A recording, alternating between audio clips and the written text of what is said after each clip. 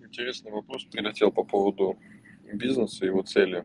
Э, Я согласен с утверждением, что э, цель бизнеса– это деньги, но, к сожалению, э, даже гениальные простые постулаты понимаются по-разному в зависимости от испорченности человека, который это все говорит и принимает за правду.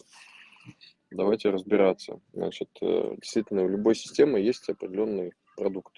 Да? Как я говорил там про людей, у каждого человека, сотрудника есть продукт. Также у системы есть продукт. Вот если, например, говорить про систему семья, то итогом системы семьи, ну, как цель какая семьи, это дети. Да? А цель э, системы спорта это здоровье, да, там, э, значит, похудение, если конкретно, да, либо там набор массы, там, либо улучшение показателей физических. Там цель образования это э, там, э, повышение умственных способностей человека, там, IQ или еще как-то. Важно, чтобы это можно было посчитать. Вот. Это то же самое бизнес, да, но э, почему мы имеем тот бизнес, который сейчас? Вот я часто на своих конференциях, лекциях говорю такую э, аналогию, что э, у нас в России э, с клиентами э, трахаются, а не отношения заводят. Что я имею в виду? Э, Тут имею в виду, что э, у нас все мыслят категориями заработать здесь и сейчас, а не построить компанию большую в долгую и как-то повлиять там на экономику, на страну, на людей и так далее.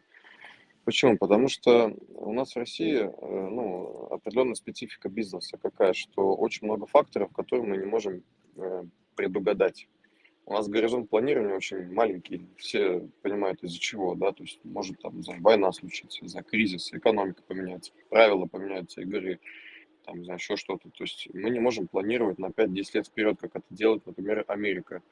Когда она делает стартапы, да, там, например, вот взять там Google, там, не там Facebook, э, Instagram, там, э, Twitter и так далее – а, у них горизонт планирования на 10-20 лет вперед, и они готовы, и они могут себе позволить, например, там, э, с инвесторами обсуждать вопросы того, что первые там 10-20 лет э, прибыли вообще не будет, но через 20 лет будет гигантский рост за счет э, накопленного потенциала целевой аудитории, клиентов лояльных и развития рынка, да, а, а у нас нет такого, потому что, ну, вот человеку надо сейчас деньги, вот, э, ему надо там свою семью кормить, не знаю, там, э, закрывать свои базовые потребности, ему абсолютно похрен на миссию компании, на предназначение, на корпоративную культуру, на этику, на сервис, на все это посрать.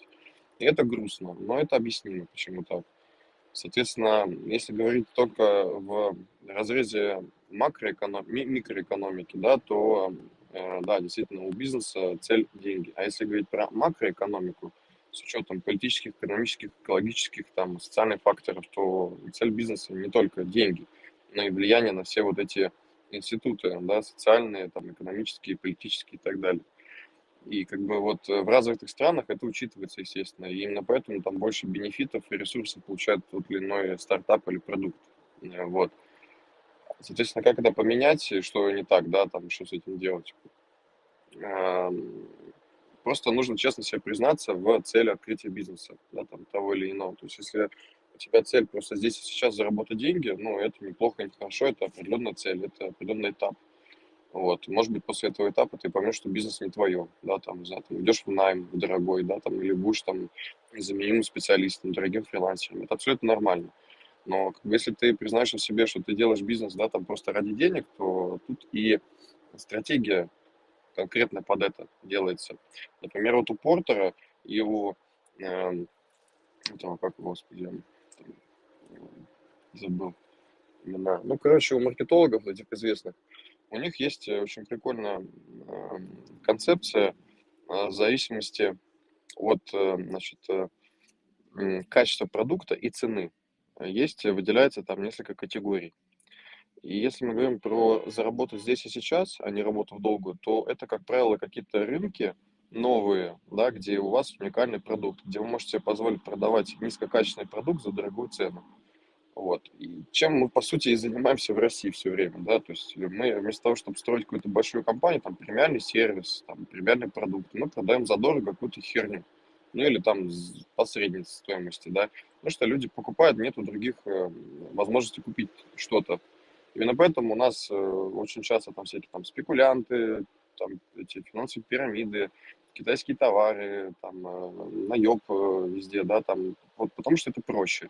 Что есть сразу отклик рынка, есть сразу деньги, развивать ничего не надо, люди и так купят, как бы на сервис можно хер болт забить, да, как бы, вот поэтому вот так. Но, исходя из этого, как правильно заметил автор комментария, да, там на вопрос, ну, рынок от этого не развивается в долгую, да. Соответственно, вот чтобы был горизонт планирования большой, ну, хотя бы там год, два, три, да, там, чтобы люди задумывались помимо набивания кошелька еще какого на по поводу влияния на вообще на, на социум, на людей, на клиентов и думали о клиентах, а не о собственном о собственной выгоде, да, и строили отношения с клиентами, да, вот как вот мужчины и женщины там семью хотят построить, также и бизнес должен строить отношения в долгую с клиентами, то тут как раз-таки надо работать э, по двум фронтам, и как и предпринимателю менять свое мышление, концепцию и подход, так и как бы стране, в которой это все происходит.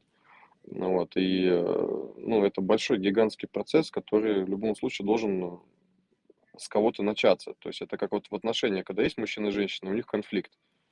Э, как бы если они оба будут ходить дуться, да, там друг на друга, то конфликт, он не будет решен. Кто-то из этих двоих, мужчина или женщина, должен взять ответственность за решение этого конфликта за обоих. Соответственно, если, например, правительство не справляется, то предприниматели могут взять ответственность за обоих за решение этого вопроса и самим менять концепцию. Не здесь и сейчас заработать, а работая в долгую. Там, разработки интересных проектов, которые будут помогать там, социуму, людям, которые будут, да, там не здесь сейчас там, заработать деньги, а в долгую. Вот, вот как я это вижу.